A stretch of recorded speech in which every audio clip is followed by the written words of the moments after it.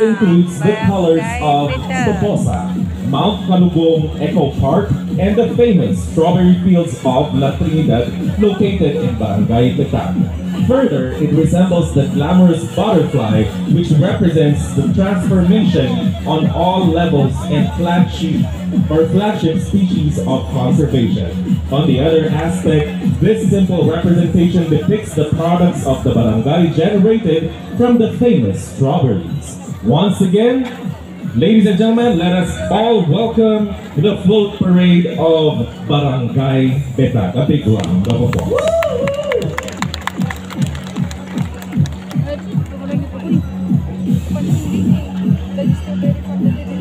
Ayan po, maraming maraming salamat Barangay Betaga.